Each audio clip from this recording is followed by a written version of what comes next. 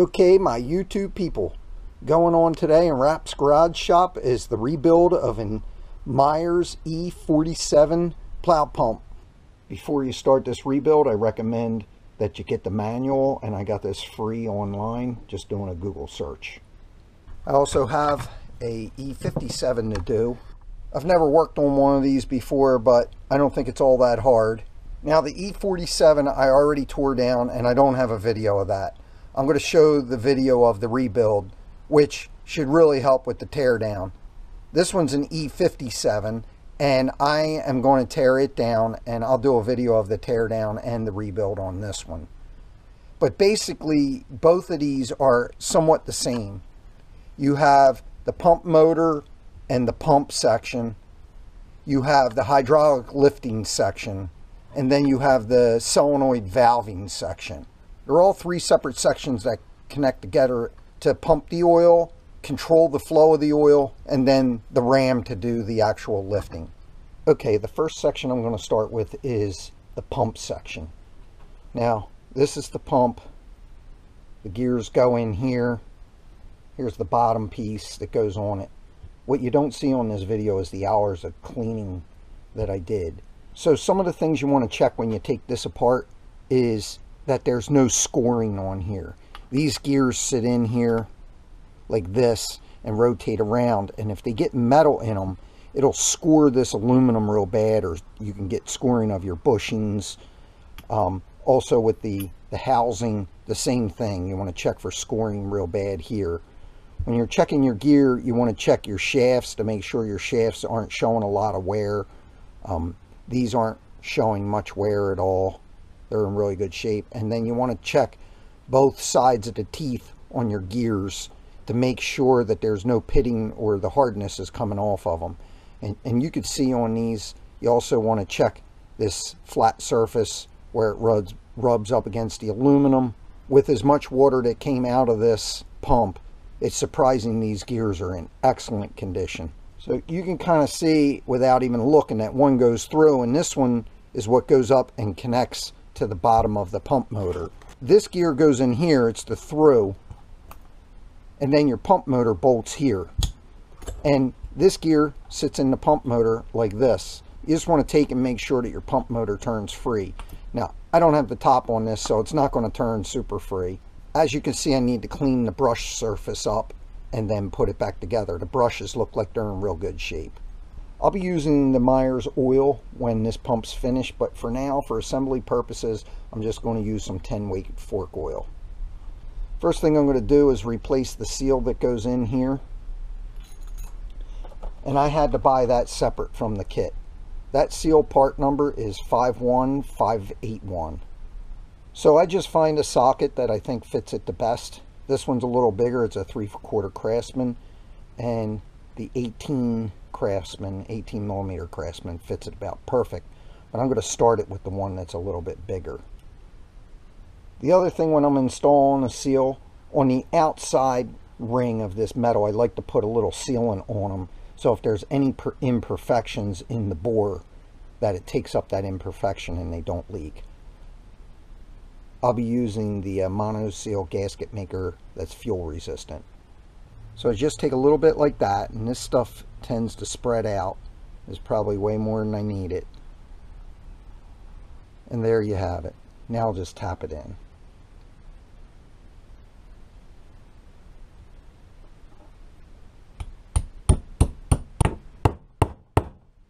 Now that the seal's in, I just take and wipe off the excess of the sealant. Make sure there's none in the rubber lip seal. Okay, the first section I'm going to start with is the pump section. Okay, with this portion of it is a pressure regulator. There's a sleeve in here, and I did take that sleeve out and clean it, but I also put it back in. It kind of presses back in. You don't necessarily have to take that sleeve out, and I'm sure you can see it. This pressure relief needle goes in, has a slight bit of a score in it. It's not too bad. Doesn't really catch my fingernail. So I'm not overly worried about that, but you can kind of see it. Here's your adjustment screw, and that goes in here like this. And you can see there's an O-ring here, and there's an O-ring there. And there's these metal washers that go over the O-rings. So I'll replace both of those. And the kit comes with those. So it kind of goes like this. And like I said, this shaft goes in to here like this and goes through that seal. So I want to make sure, I made sure that there's no burrs on here for that seal to catch on. And then also I want to lube everything real good. So I want to lube the seal. Make sure the oil gets all the way around that seal. You don't want to cut it going in. There's no burrs on this. I just ran this on a wire wheel to clean it up.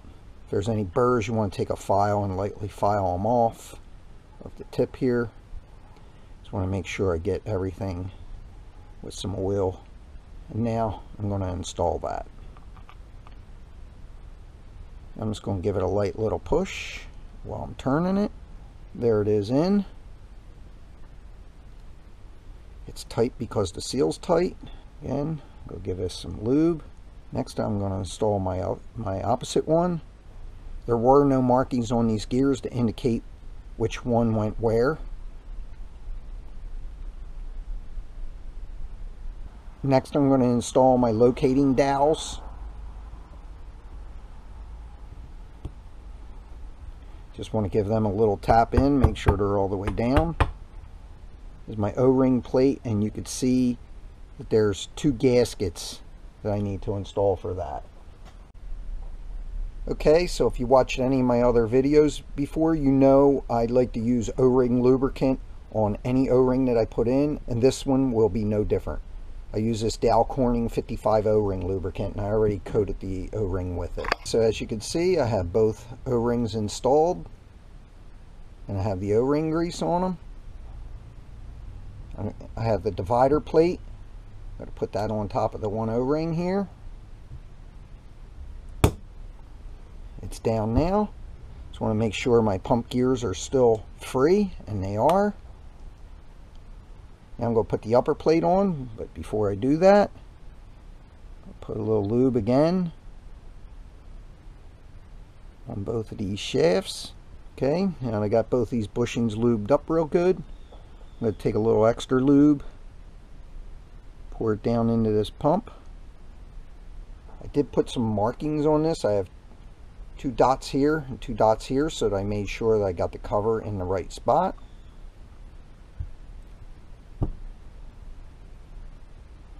Now I'm going to bolt it down. A 5 16 18 bolt. Before you torque it down, you just want to have these bolts snugged up a little and then rotate your pump to make sure everything's in alignment and then you want to snug it lightly gets about nine and a half foot pounds of torque now it's all torqued up I'm going to put the pressure regulator circuit back in.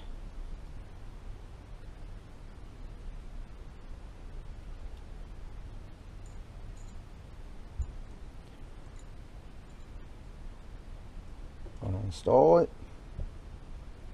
I'm going to hit it with a little oil down in there. Don't ever want anything running dry.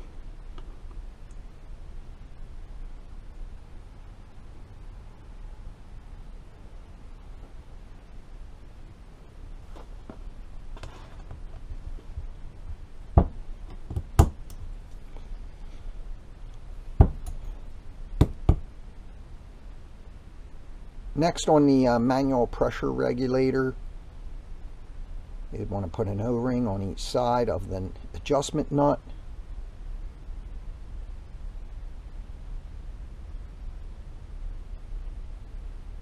Then gets this washer, goes over top the O-ring.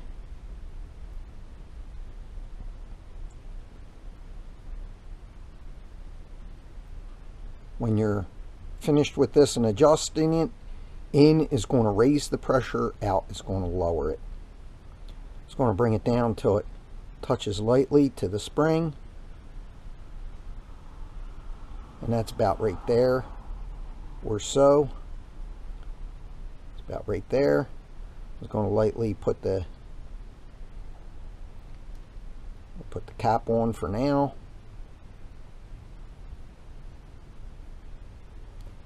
And there is how you have the pump section rebuilt.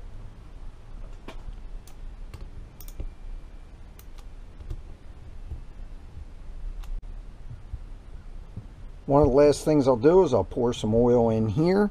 I don't want to put too much in, but before I bolt it up, I will fill this the best I can to prime the pump. I'm going to turn it. And I'm if you're looking down at it, I'm turning it clockwise. The bigger port is always going to be your supply and the smaller port is always going to be your discharge. And it's that way on any pump I'm starting to see it come up the discharge. We'll just keep going. And here you go. You're seeing it come out. So this is how you could test your pump before you even put it in to know that you have it right and it's pumping. So the pump's all primed. Okay, I went ahead and pulled the pump motor apart. I took a little Scotch-Brite and cleaned the shaft on both ends. And I took a real fine piece of emery and cleaned off the copper for the windings. Then I take a light pick and just make sure to go across into each one to make sure that no copper goes from one to the next. Now if that's all clean, I clean the housing. I cleaned inside where the magnets are and I clean the bolts up a little bit. I'm going to grease both ends of this with a little bit of wheel bearing grease. That'll keep the water out, I hope, and also keep it lubricated the side of the housing that's recessed about an inch is where the brushes go. The opposite side has a notch in it for this cover, and this cover has a notch that goes in it, like that. And then there's paper gaskets on each end. The paper gasket's still on this end. I'm going to put a little sealant on it. And then I'm going to put a little sealant on the paper gasket on this side. I don't have replacement gaskets, so that's how it's going to have to be the output side of this electric motor that goes to the pump had two shims that go on here. The armature goes in this way. The side that's recessed about an inch where the brushes go is where the copper side of the armature goes. And the output side is the side that where the magnets are right up against the edge. Okay, first I'm going to put the paper gasket back on the housing. Now I'm going to put the housing into the greased bearing. I'm going to line up the notch with the notch here so it can slip on nice and easy. Okay, now I'm going to re-put it in since it got sucked out of my hand. Okay, now you can see it's on tight. And the armature will push down in there, but the magnets are pulling it out for now. I'll set that aside. Now I'm going to put the pump onto the electric motor, lining it up. That's how you rebuild the electric motor and pump section of your Meyers snowplow lift pump. I'll end up filling this with oil before I mount it back to the next section and I'll show you that when it comes. The next thing we're going to work on is the ram assembly. And this is the ram assembly housing. And you can see there's a lot of discoloration down in here. Although I soaked this and cleaned this really good. Both sides kind of have some stuff that's just not going to come out of this. And that was because there was quite a bit of water in this. And probably over the years, it's just damaged it. Other than that, it is spotless clean. And uh, let's get to it. I put this seal in upside down. You can see it looks like it would normally go this way to keep oil in. But what actually this is tapered in this way, it allows water to get in. And this seal's to keep water out. I did buy a new Meyers seal and it's part number 05119. And the seal looks like this. It has this metal piece that's kind of loose in there. And then the lip seal, which again goes in on a diagonal. The top being the widest and further in being narrow. And it goes in with this piece up to keep water out. So I'm going to remove this seal and install this one the proper way. Okay, before I put the seal in, I put some of this gasket maker that's fuel resistant on the outside of the seal. Make sure it takes up any imperfections in the housing. I put it in this way with that little metal spacer facing up, but you want the lip seal to be facing up the very bottom of it closest to the housing would be the widest section and then it tapers tighter as it comes to the top and that'll keep the water from coming in. I'm using a socket to tap them in with. I like to put an extension on them. It helps me to keep it lined up straighter. Okay, now I got it in. I like to put a good coating of oil on the seal to help it slide on. Also make sure to wipe off the extra sealant. And there you have it. Next thing I'm going to do is put this thicker, I guess, nylon O-ring back in this side. Like that. It didn't come with a new one, so I'll just reuse the old one and it's in good condition. Had to get a new ram because this one was pitted. This ram was probably pitted from water, no doubt, and had a big scratch in it. And there's also an O-ring that goes on it right there. Here's the new ram. Now I'm going to assemble this end where the seal goes. Okay, if you know me, I already saw that I put O-ring lubricant on the O-rings. Is the O-ring that goes on the tube. This O-ring goes on this end of this shaft. Being careful, these shaft threads are sharp. Being careful not to damage that O-ring.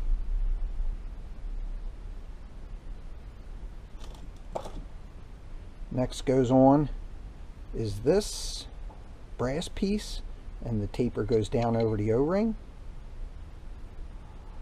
Then goes on your rubber, sealing rubber, and that goes over top of this brass piece, like that.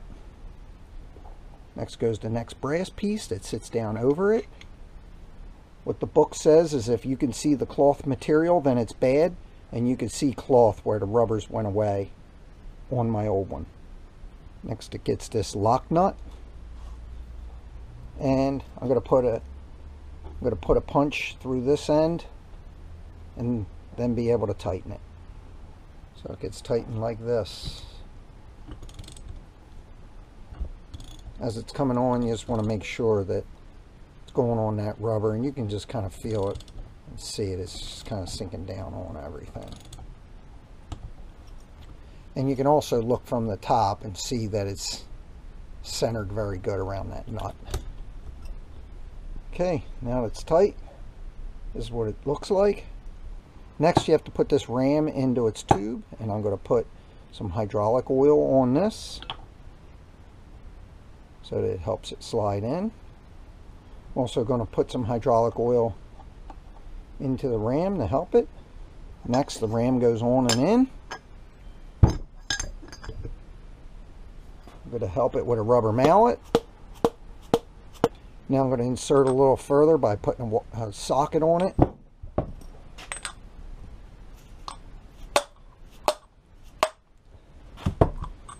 Okay, let's see it's in. This end goes down into the body with the O-ring.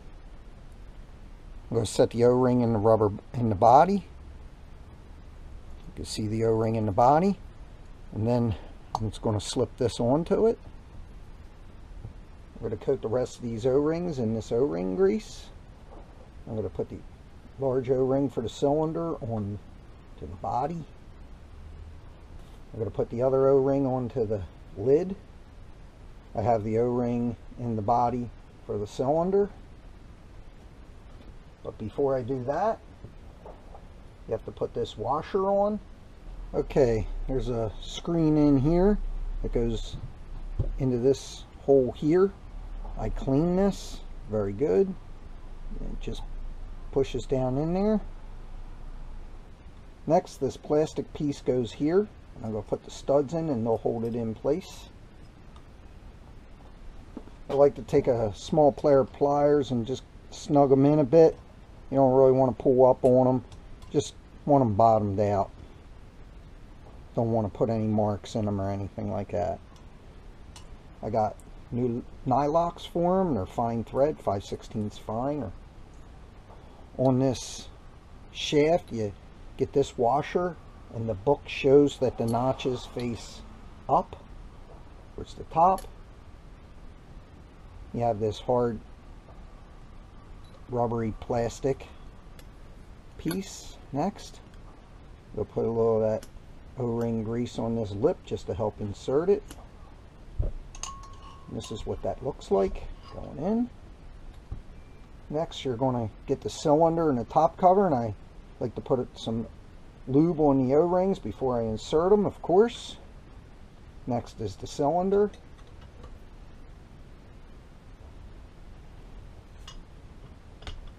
That just pushes down over the O-ring. Get this piston back in that lower O-ring. Want to make sure that you get the fill hole up near the front on this so it's not hard when you have to fill it. Start it down over the studs. Again, I just want to make sure I have that in that lower O-ring. First I'm going to put the washers on and then the nuts. Okay, now that I have washers on them, I'm going to tighten them up. Only going to get close to starting to tighten down. I want to go down evenly, so I'll put a little on each one. These do not need a lot of torque, nor do you want to torque them real hard. The O-rings provide the sealing. You just want to take them up until they're definitely snug, but not over tight, because those long studs will be easy to break. That's how you get the cylinder part back together your fill plug, but it's also a breather. You see that hole right there? And you want to put some Teflon paste on this. I'm just going to set it in loosely for now because I haven't filled it. I'm not going to put any Teflon on it. We have to start out by installing the three studs here with a little bit of Loctite. There's a square cut O-ring that goes here and some kind of check valve that goes here. Little O-ring grease on the square cut O-ring.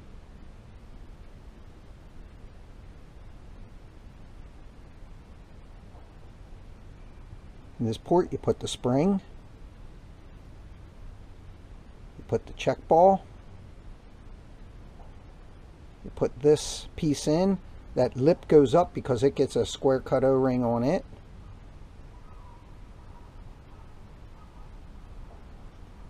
And the check ball sits against it like that. Okay, I was able to slide that on and it was a little bit of a trick, but I got it all on with the square O-rings and everything where they're supposed to be installed. So I'm going to bolt it on and then we'll go to what's next. The next thing I'm going to install into the main piston assembly is this solenoid. And it's this smaller one with the black wire that goes into here. And in the kit I bought, it's AK431 plow parts for you. And this has this O-ring here this O-ring here and that Teflon split uh, a Teflon split O-ring. They'll all go down in here. So take it off like that. Next the O-ring and you can see right there that O-ring has been cut. On here probably doesn't pick up on the camera but it is cut right there. I'm not sure if you can see that or not. Then this screen lifts off and you can just check it. I'll probably clean it a bit more. And then this bigger O-ring here.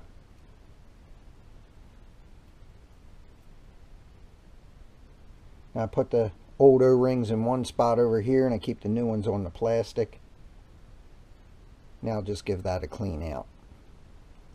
Now I'm going to put a little O-ring grease back on the O-rings.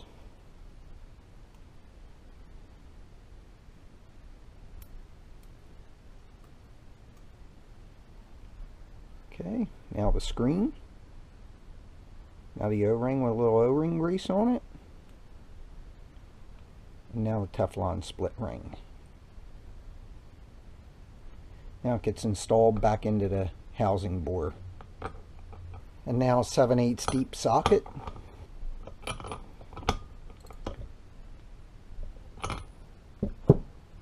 The solenoid. And before I put the nut on for this solenoid, I'm going to put a little never seize on it because I had a hard time getting the other ones off.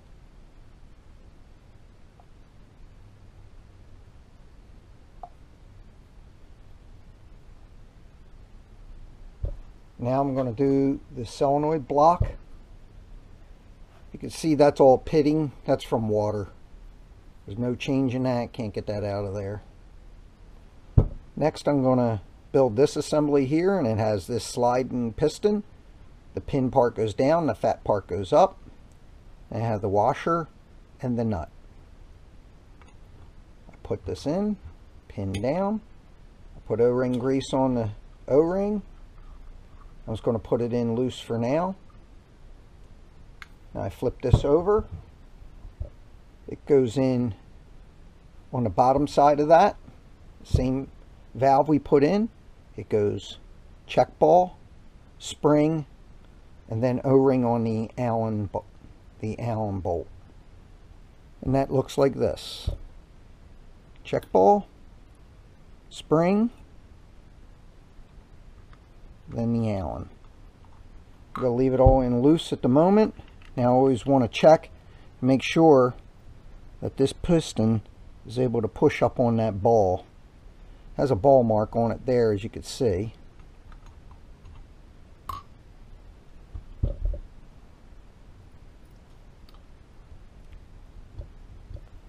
and it is it is spring loaded not sure if you could see that but it is spring loaded so that's together right. Now before I final some of this I'm going to put some oil in there. Just a little lube so it's not running dry in the beginning. I'm going to leave this all loose for the moment. I will tighten it up. So the next thing I'm going to do is rebuild the solenoid for the E position. That's the one that's furthest away from these two fittings. It also has the white wire. This is the solenoid portion. I'm going to replace three O-rings on here. These are the three O-rings that were on there already. The packet for the O-rings for this solenoid are BK432. In that packet were four O-rings. I only need three of them. I believe I need this one, this one, and this big one. Okay, now I have them greased up, I'm going to install them.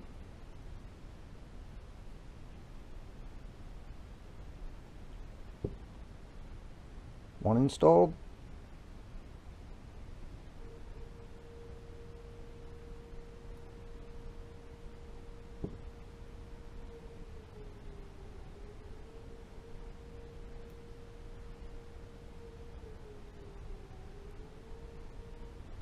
Okay, when this goes in, the spring goes down, then the ball, like that. You see where this ball sits in there. You can also see where the nut was seized onto this threaded stud and it broke off.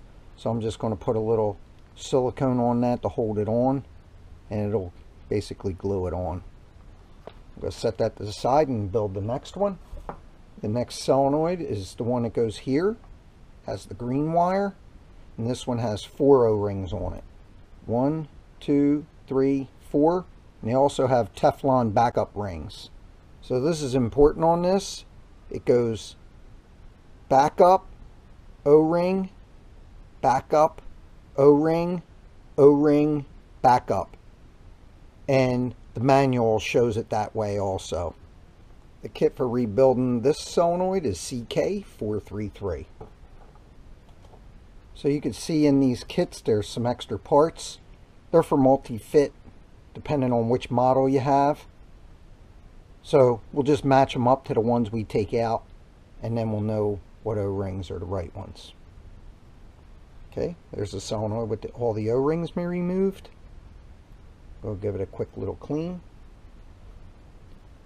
One thing I want to point out with these backup O-rings that these were rubber and they're square rubber. The replacement ones, split Teflon rings. So now we'll go back together after I put some O-ring lube on these. Looks like that's the extra one there. It's a little bigger than this one. There they are lubed.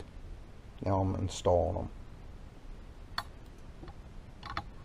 The first one gets the backup and this one's this one's not a split backup. So I'm just going to get it up here and just kind of get it on like this. Then the O-ring.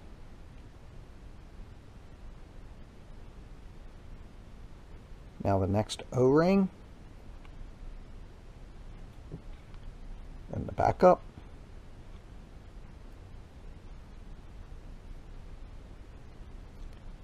Next O-ring.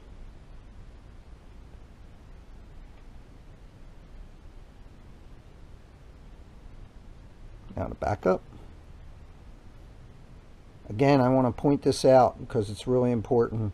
When installing from the bottom, it goes back up, O-ring, back up, O-ring, O-ring, back up. Now this can be installed. This solenoid I couldn't get off of this. I want to address an issue that I was told on the internet with my first video before I put in this edit is the C solenoid, the one with the green wire that goes here the solenoid valve that's here won't come out of the electrical solenoid here. And this is an example of one that did come out. My guess on the reason that that happens is because when you ram snow, it causes this to swell. My guess on the reason that that happens is the kickback of pressure causes that swelling of this piece. So in that case, this needs to be replaced. And if you can't get your solenoid off, then you're going to have to replace both. Now, I was able to get this solenoid off this one, but it's tight right there. And when you really look at this, you can see down here at the base is the original size. So I have two of these on order, one for this one and one for another one that I'm doing. Since I have one good solenoid, I only need to order the valving part. But for this one, I need to order the solenoid and the valve because I can't get it apart. Okay, so I got the replacement for the solenoid and just wanted to show you the diameter. And it's basically 625. Again, when I check the other one, you can see it's 655. And um, even down here, it's closer to 660. So the new solenoid, the solenoid valve won't fit on, but on the new one, slips right on no problem. And even the old solenoid slips on no problem. I'm just going to install that. It comes with new O-rings. And I'm just going to put that in and then slip the solenoid on. This is for this adjustable valve that's right here. This is an inserted part on this video because I posted this video and, and got called out on the internet for it because I didn't pull the last valve out of here. I made this tool here and this is a file folder clip and I just took off the clip off this side, straightened it out with a pair of pliers. You fish it down in here and I'll show you it after I get it out. You can feel it hook into a into a hole into that valve. And I took a pair of pliers and, and then popped it up and out it comes. And you can see it has four holes right there. And I just got in them holes with it like that. There's an O-ring that goes on here and an O-ring that goes on there. Here's the larger O-ring. There's the smaller O-ring. Okay, to get this O-ring back in, it does fit on the end of this valve perfectly, but you want to drop it in. And then I have a 10 millimeter punch. You want to make sure it's set down flat at the bottom of that bore. I'm unable to show you that on camera, but it is flat in the bottom of the bore. Next, you have the next O-ring. You drop it in, because if you don't, the threads will cut it. Again, I'm just going to place it down to where it seats, like that. It's down where it's supposed to be. Now I'm going to drop this in, skinny side down. After, uh, of course, I cleaned it. Again, I'm going to just tap it into position. And you heard it click down in. Now I'll reassemble the rest of it. I want to go through this because there's a lot of parts and it's important. So you can see that pin goes there. That Teflon gasket goes on top of the shaft of the pin here. The O-ring goes over top of that. This piece here has a step in it. And that smaller step goes up in the end of this, this retainer here. This one you could see goes onto this pin, but it also has a step and that step faces this direction. Both of them do. And that step there goes up in the end of this spring here. This goes on top of the spring, which goes up into this piece. And then you have this nut. That's your adjustment. And an O-ring on the cap. I'm going to assemble this and you'll understand how it goes together. So first you take the pin and this Teflon O-ring goes right up on it and there's a little taper here to help it. Then this O-ring goes over top of the Teflon. When you assemble it together it's easier to see. This one goes on the end of this barrel like, like that. Now this pin goes in it and then this one goes here on the barrel so that the spring can keep it. So it should look like that when that part's done. You put this flat up into there and then this goes like this. You can see how it all sandwiches together. It just kind of slips right down into that and then you just press it lightly with the end of my finger and I can feel it all slide together. Then the spring goes in and then this sleeve that the spring goes through and now this piece goes on. Now I'm going to tighten it down. After I have this fully assembled I like to take something like a screwdriver down in here and just make sure that it's able to travel back and forth like it's supposed to. You can see it's not a ton but it's there. Now I'll put the adjustment screw back in. Once it's all the way in it was out a half a turn. When I originally took it apart so I'm going to put it back there for now. Then the cap with the o-ring. Okay now I'm going to check to make sure this spring has some give.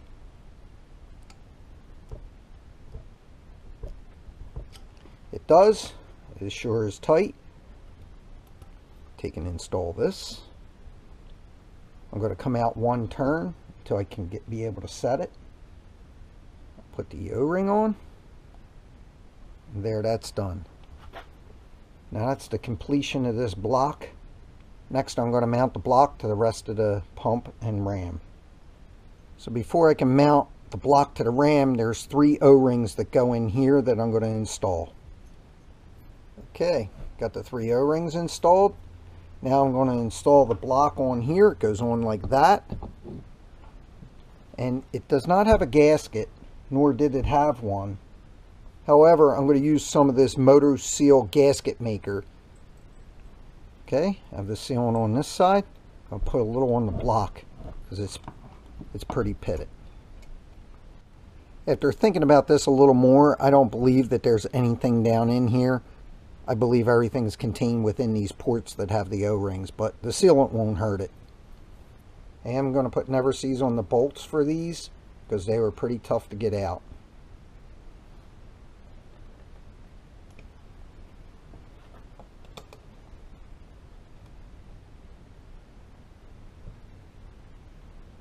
going to take and wipe off the excess of that sealant. These are tightened with a quarter inch Allen wrench.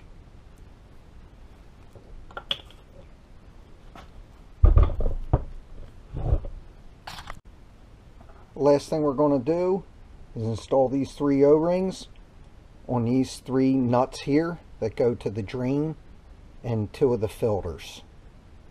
As always, I put some O-ring grease on them. The filters go in with the feet down and this plug piece sticking up.